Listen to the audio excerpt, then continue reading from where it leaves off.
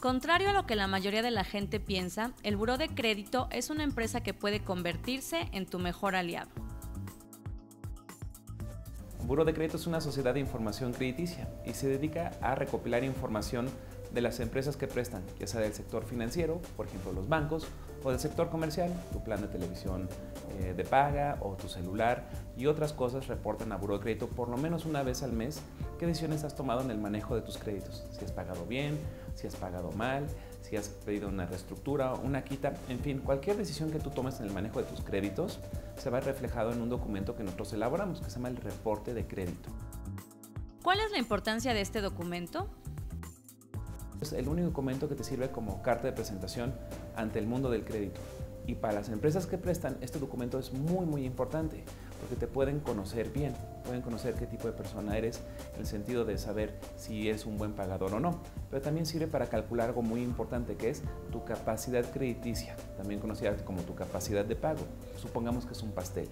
Con el reporte de crédito pueden saber cuántas rebanadas de ese pastel están comprometidas ya con el pago de financiamientos. Con este reporte, los otorgantes de crédito analizan cuánto te pueden prestar para no sobreendeudarte. La aprobación de préstamos no depende del buro de crédito. Nosotros no damos crédito, ni negamos crédito, ni nada similar.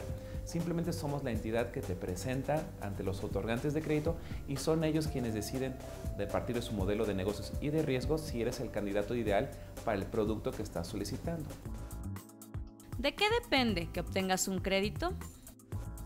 De la confianza que genere tu reporte de crédito en buro de crédito, de tu capacidad de pago, pero también de otras cosas que son ajenas a buro, que son los gustos de cada otorgante. Por ejemplo, la edad es uno de estos factores. Supongamos que es un adulto mayor de 90 años con una muy buena pensión y siempre has pagado muy bien. Eso quiere decir que tienes un historial perfecto hoy se te ocurre querer aprovechar las tasas de interés tan competitivas en los créditos hipotecarios y pides un crédito a 20 años. ¿Te van a prestar?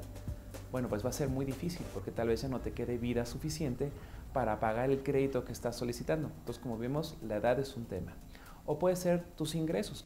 Otro de ellos es el score de buro de crédito, que tú puedes pedir junto con tu reporte y el score tiene un valor predictivo. Se presenta en una forma de velocímetro que va desde los 400 hasta los 850 puntos. Mientras más puntos tengas, mayores serán las probabilidades de que tú pagues el financiamiento.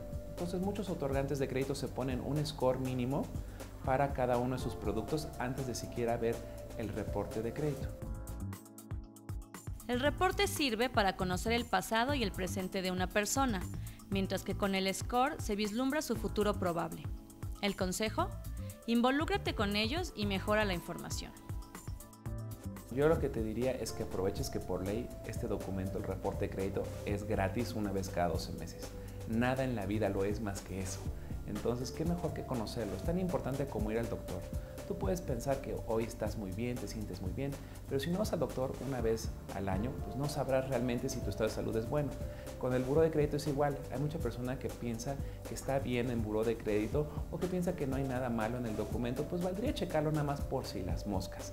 Y si encuentras algo que no está bien, la ley también te protege. Puedes ingresar hasta dos reclamaciones al año totalmente gratis con buro.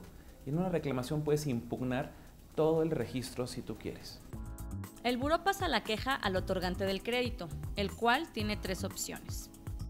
Si te dan la razón, yo elimino o modifico el historial crediticio y te doy uno nuevo.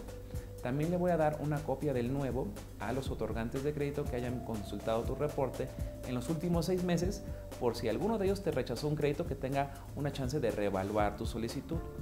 En el caso que la reclamación salga negativa, entonces yo te tengo que dar toda la evidencia que me haya dado el otorgante de crédito para sustentar que el registro es correcto. Si aún así no estás conforme, puedes ingresar otra reclamación o otra idea que sería interesante es que lleves toda tu información y la evidencia que te acabo de dar, en el caso de los créditos financieros a la Conducef o en el caso de los créditos comerciales a la Profeco y sigas una reclamación ante estas instancias de gobierno. Y la tercera opción es que el otorgante de crédito no me conteste tu reclamación. Si ellos no me la contestan, yo tengo que modificar el historial a como tú me lo hayas pedido en la reclamación. Por eso es importante que me lo pidas. El plazo de respuesta disminuyó recientemente.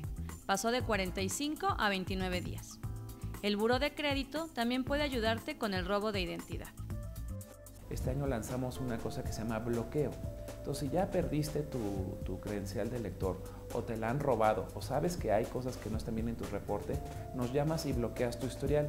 Así, si un delincuente se anima a pedir un crédito a tu nombre, el otorgante del crédito, al no poder consultar el reporte, no se va a animar a generar una línea de crédito.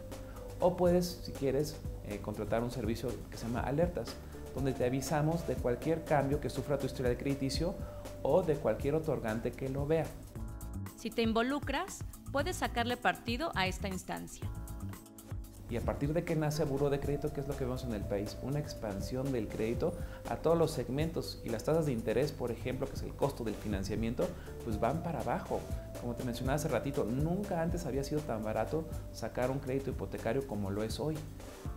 Este, entonces, pues el Buró de Crédito es una de esas tantas piezas que ha facilitado de que hoy todos podamos aspirar a un crédito de auto, a una casa, a una tarjeta de crédito, cosas que nuestros papás pues este, hubieran soñado. Con imágenes de Axel González, edición de Laura Basalo, informa en ferris.com.mx, Ramos.